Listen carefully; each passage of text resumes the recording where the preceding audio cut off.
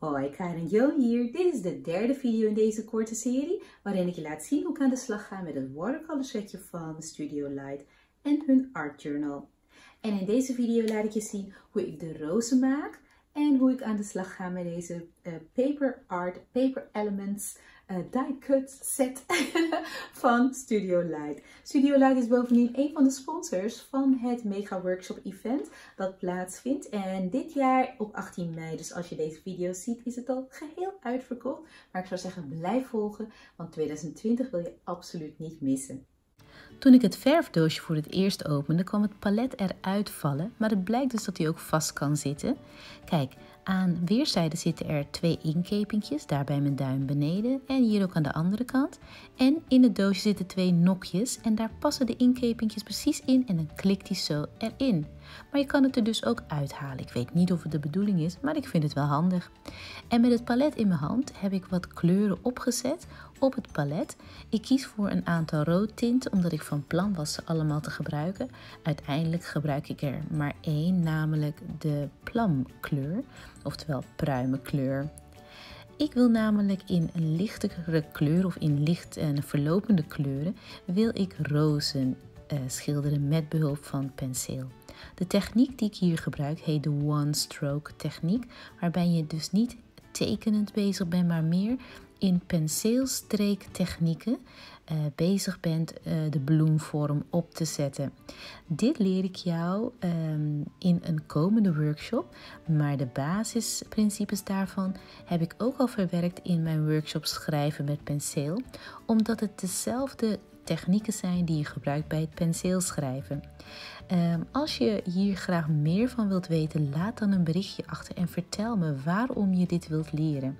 Ik ben namelijk bezig met de ontwikkeling van een nieuwe workshop om je penseelstreek met penseelstreektechnieken, met one-stroke technieken dus, bloemen te leren schilderen. Maar wat ik heel belangrijk vind is om het echt af te stemmen op jou en om van jou dus te horen wat je er mooi aan vindt, waarom je het wilt leren, wat jou moeilijk lijkt en uh, ja, al andere wat je nog wilt verzinnen, wat je aan feedback, commentaar, wensen of dromen hebt, hoor ik heel graag van jou. Ik ben dus ook, ook op zoek naar uh, deelnemers om de workshop mee te ontwikkelen. Dus het zou ook kunnen dat ik je uitnodig om een kijkje achter de schermen te nemen terwijl ik de workshop maak. En dan heb je de mogelijkheid om de lessen in te zien nog voordat ik ze aan het publiek presenteer. Dus alsjeblieft laat weten waarom en hoe en wat jij wilt leren. En op grond van jouw woorden um, bepaal ik misschien wel dat jij een fantastische kandidaat bent om mij te helpen om de workshop te ontwikkelen. Mijn bos rozen is af en ik wil er graag wat tekst aan toevoegen. Deze schrijf ik eerst op een kladblaadje en ik tel het aantal letters. Dan bepaal ik het kader waarbinnen ik wil werken. Dan maak ik gebruik van mijn letterliner en uh, fineliners van het merk van Winsor Newton. De letterliner is een tooltje, een gereedschapje wat ik ontwikkeld heb. En dat zit in de workshop Brush Lettering Made Easy. En met behulp van de letterliner kun je heel handig en vlot bepalen waar je woorden moeten komen te staan in een precieze uh, formaat en uitleiding. Dus dat helpt mij nu in één keer om Make Everyday keurig netjes in het midden te plaatsen, netjes onder elkaar. Meer informatie vind je op letterliner.nl. Voor het woordje count gebruik ik een andere transfermethode uh, die ook zit in de workshop Brush Lettering Made Easy. Ik heb op een kladpapiertje het woord count geschreven.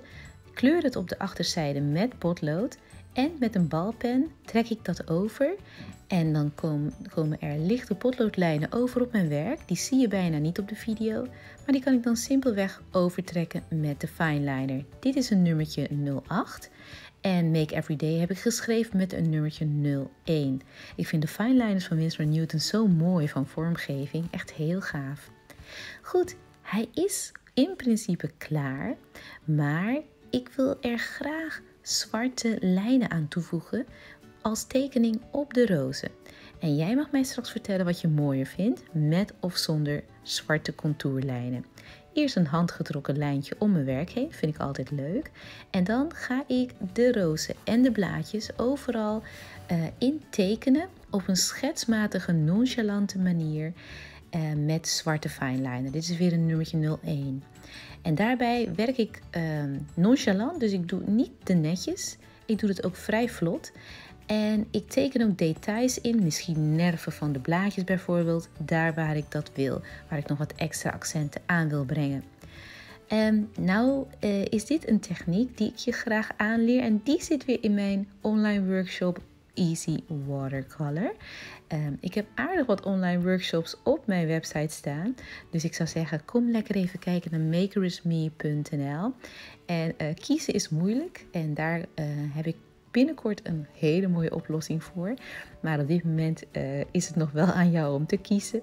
Uh, of je neemt ze allemaal wat je wilt. Maar hoe dan ook, deze techniek uh, en ook de techniek van de bloemetjes intekenen.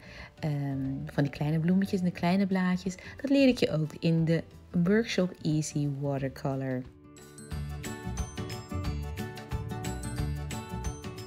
En dit is het resultaat met de zwarte getekende lijnen eroverheen. En nou is de vraag aan jou, wat vind jij mooier? Daar ben ik wel heel benieuwd naar. Vind je het mooier met of zonder de zwarte contourlijntjes? Ik weet nog steeds niet wat ik echt mooier vind. Ik kom er maar niet goed uit. Soms vind ik het een en soms vind ik het ander mooier. Maar ik hoor dus heel graag van jou wat jouw voorkeur heeft. Weet je nog de mooie set met die cuts van de lijn Create Happiness van Studio Light? Daar wil ik graag nog iets meer mee doen. En ik kies ervoor om de grote tekst, de mooie roze, want die vind ik gewoon echt mooi, die wil ik echt nog gebruiken. Uh, Life is Beautiful te plakken met dubbelzijdig foam tape en daardoor ligt die wat verhoogd. En nu kan ik er nog wat uh, bloemen achter steken. En ik vind het zo leuk, al die uitgeknipte paper elements die je dan zo kunt steken achter je, um, je werk en daarmee een mooie nieuwe compositie kunt maken. Wees ook niet bang om af en toe eens gewoon iets te verknippen. Want doordat ik deze in de helft heb geknipt, kan ik hem op twee plekken in een, uh, op een, uh, een, manier die heel mooi past bij de grote voorgrond, kan ik ze erin, erachter plakken. En dat geldt ook voor dit bloemetje. Ik gebruik weer de Tambo um, uh, lijmroller. En die werkt handig als ik iets vast wil plakken of als ik iets plat wil plakken. En het foamtape gebruik ik als ik iets met wat relief wil plakken of wat verhoogd wil plakken. soms is het een beetje een overkill aan, aan verschillende bloemetjes en elementjes, wat het toch echt leuk maakt. Ik hou over het algemeen van een beetje minimalistisch ehm, ontwerpen. Maar soms ga ik gewoon een beetje, een beetje, een beetje te veel. en dat is gewoon ook soms leuk. Um, dus zowel bij uh, mijn rozen als bij Life is uh, Beautiful hier gewoon lekker veel. En kijk eens hoe mooi dat holografische uh, folie is. Leuk is dat, hè? Dat krijg je thuis toch niet makkelijk voor elkaar. Dus dat is wel heel erg gaaf. Als je dat trouwens wel voor elkaar wil krijgen, er is holografisch folie. Wat je met behulp van ehm, een laserprinter en een uh, lamineermachine dus wel op je werk kunt krijgen. Dus als je daar meer over wilt weten, stel gerust vragen. Hartelijk dank voor het kijken weer. Vond het heel leuk om dit zo met jou te delen. Zoals ik al zei, ik ben dus bezig met het ontwikkelen van een workshop om bloemen te schilderen met een one-stroke techniek. Maar ik hoor heel graag van jou wat jij graag wilt leren. Wat je mooi vindt, wat je minder mooi vindt. Dat hoor ik ook heel graag. Wat je, wat je, waar je van droomt, wat je wensen zijn als je dit soort dingen ziet. Of waar je misschien juist bang voor bent, waarvan je denkt, oh, dat gaat hem nooit worden. Dat wil ik echt heel graag van jou horen. En op grond van de woorden die je achterlaat in de reactie, kies ik jou misschien wel uit om deel te zijn van het team dat ik um, ga vragen als adviesgroep om mij te adviseren in hoe ik deze workshop moet ontwikkelen, wat erin moet komen, hoe het eruit moet zien, etc. Je krijgt dan een kijkje achter de schermen terwijl ik bezig ben de workshop te ontwikkelen. Dus je ziet de lessen al voordat ik ze presenteer aan het publiek. Ik zou het super tof vinden als je erbij zou, zou willen. Maar ik zou zeggen, laat gewoon lekker een uitgebreide reactie achter van wat jij vindt en denkt en uh, voelt en wat je graag zou willen zien. Dan ben jij misschien wel een van degenen die ik daarvoor kan uitkiezen. Mijn naam is Karin Joon. Ik zie je graag terug in een volgende video. Als je meer van mij wilt weten over de workshops en alle dingen die ik genoemd heb, ga dan naar mijn website makerisme.nl en ik zie je graag terug in een volgende video om je opnieuw te inspireren. Hoşçakalın.